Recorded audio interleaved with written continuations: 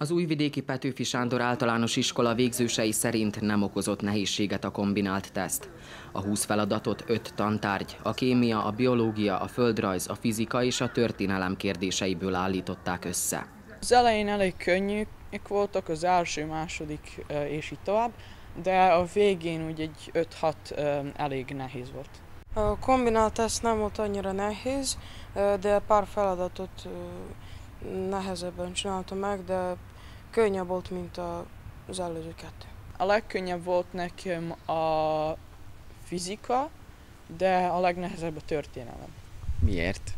Hát mert fizikából főleg csak képleteket kell tudni, és én azt eléggé könnyen megtanulom, de a dátumokat az, azokat nagyon nehezen tanulom.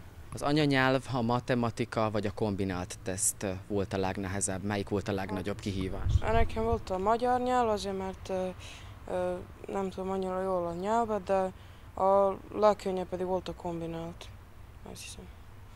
Mert rövid volt és nem volt sok kérdés.